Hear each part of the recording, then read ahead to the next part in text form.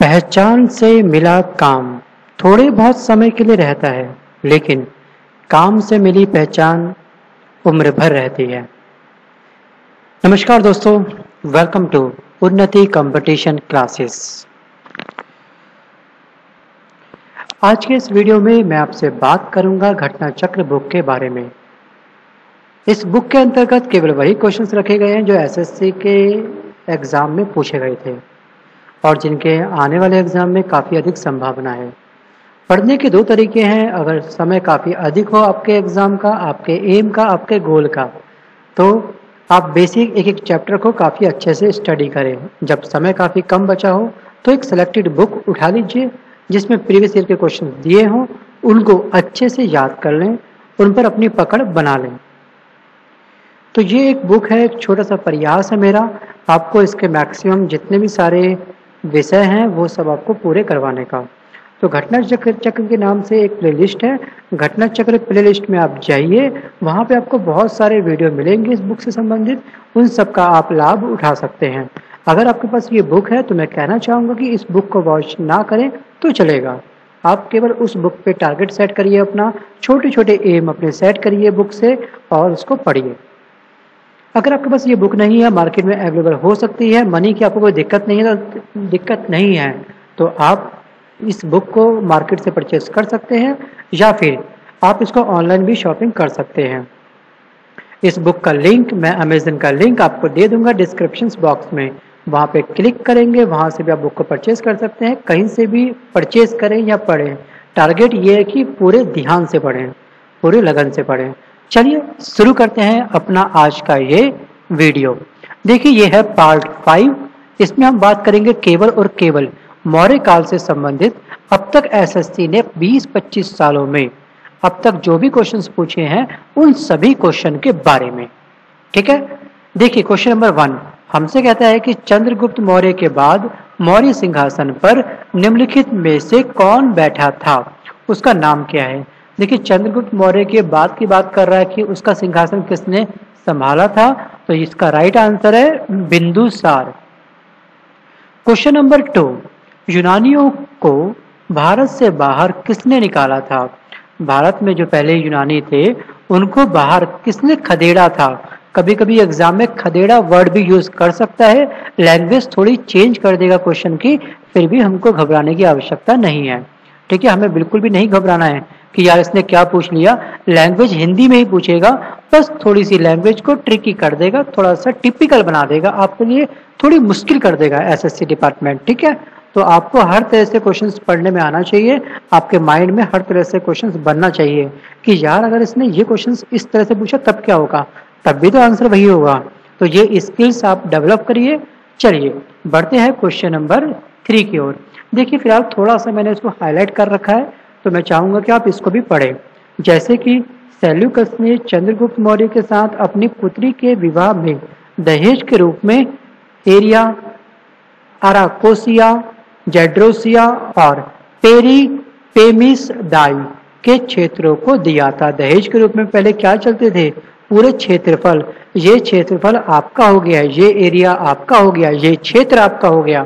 तो दहेज के रूप में आज की तरह कोई गाड़ी, बाइक, इस तरह के आइटम नहीं देता है। पहले चलते थे केवल क्षेत्र, कि जाओ, मैंने दहेज में तुमको ये क्षेत्र दिया, ठीक है? तो आप याद रखना, यूनानियों को भारत से बाहर किसने निकाला था? ये निकाला था चंद्रगुप्त मौर्य ने। क्वेश्चन नंबर थ्री कि अशोक के अधीन मौर्य राजतंत्र का सबसे सही वर्धन निम्नलिखित में से कौन सा होगा? तो इसका राइट आंसर होगा, केंद्रीकृत एकाधिपत्य। क्वेश्चन नंबर फोर अशोक के प्रशासनिक नीति में भारी परिवर्तन किस घटना से आया था? वो आया था कलिंग युद्ध से। कलिंग कहाँ पर है? यह उड़ीसा में।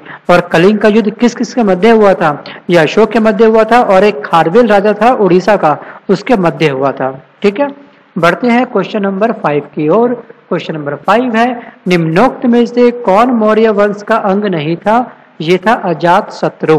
क्वेश्चन नंबर सिक्स निम्नलिखित में से प्राचीनतम राजवंश कौन सा था? ये था मौर्य। याद रखिएगा, ये कौन सा वंश था? मौर्य। Question number seven. निम्नलिखित में से वह व्यक्ति कौन है जिसका नाम, देवा नाम प्रियदर्शी था? तो इसका राइट आंसर होगा मौर्य राजा Ashoka. Question number eight. Kalinga युद्ध के बाद निम्न में से किसने महाराज अशोक के रूपांतरण को दर्ज किया?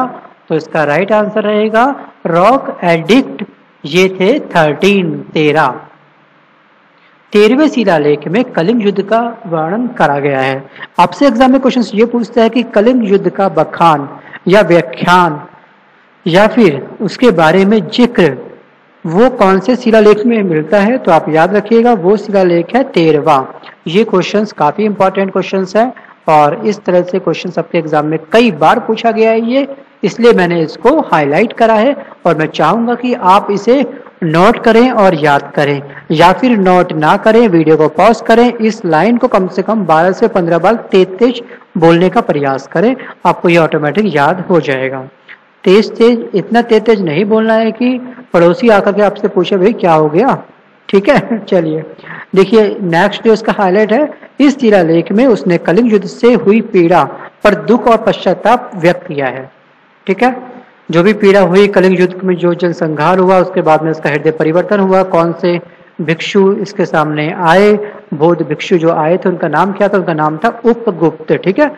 ये कभी पूछ लेता कि कौन सी भिक्षु उनके समक्ष आए थे कि जिसके बाद में अशोक का हृदय परिवर्तन हो गया? उसका नाम था उपगुप्त।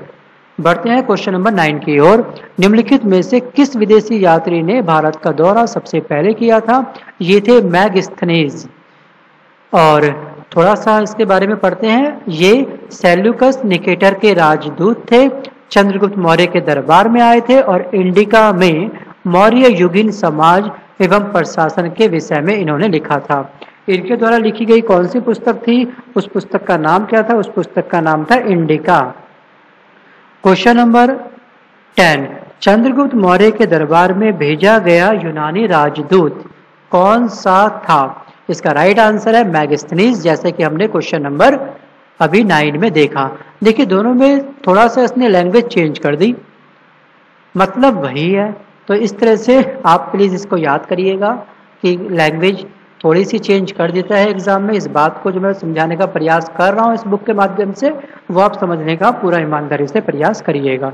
बढ़ते हैं क्वेश्चन नंबर इलेवन की ओर। इंडिका किसने लिखी? लो जी, इंडिका किसने लिखी? तो इंडिका जो पुस्तक थी, ये लिखी गई थी मैगस्टनिस के द्वारा। आप याद रखिएगा, ये लिखी गई थी मैगस्टनिस के द्वारा और इसका राइट आंसर क्या है? बी क्वेश्चन नंबर ट्वेल्व निम्नलिखित में से सम्राट अशोक की वह पत्नी कौन थी जिसने उसको प्रभावित किया था कि आप ये जनसंहार मत करो? उसका नाम क्या था? उसका नाम था करुवाकी। उसका नाम क्या था? करुवाकी। आपने अशोक मूवी, जो आपका शाहरुख खान जिसके एक्टर थे, और कैटरीना कैफ, हीरोइन थी उसमें तो इन दोनों के मध्य एक अशोक का मूवी बनी थी, वो अगर आपने नहीं देखी है, वो देखिए। उसमें आपको चलेगा पता कि कैसे उसका हृदय परिवर्तन हुआ। उपगुप्त आए तो क्या कहा? तो इस तरह से भी मूवी देखने से आपकी नॉलेज पावर ज़रूर इंक्रीज होगी। क्वेश्चन नंबर थर्टीन अशोक ने किस बौद्ध साधु साधु से प्रभावित होकर बौद्ध धर्म अपनाया? देखिए, अभी मैंने कई बार आपको बोला उपगुप्त ठीक है? उपगुप्त तो ये नाम आप याद रखिए, इनके प्रवचन के बाद ही इसका हृदय परिवर्तन हुआ था। किसका? अशोक का। और ये कौन से भिक्षु थे? ये थे बौद्ध धर्म के भिक्षु।